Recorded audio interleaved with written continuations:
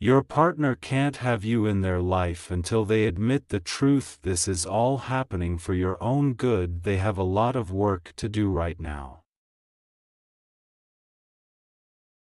They need to heal from the damage caused by their past relationship they need to face, the consequences or their actions.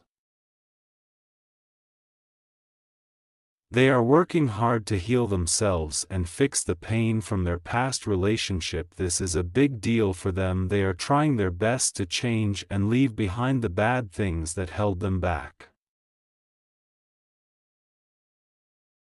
They need to understand how to treat someone with respect in a relationship before they can let you into their life. It's important to know that honesty and personal growth matter.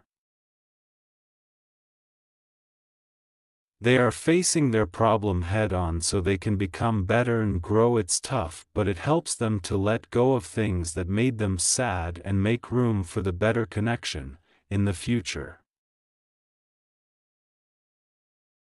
They believe in karma, which means that what you do affects what happened to you. They know they made mistakes in the past, now they want to take responsibility for what they did. They want to treat their partner with respect, talk openly, and understand each other. They know that everyone deserves to be treated well.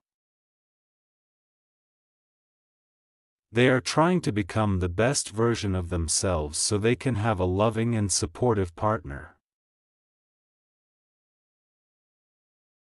Affirm for the beautiful and flourished relationship with your person. Subscribe the channel and type Amen if you believe.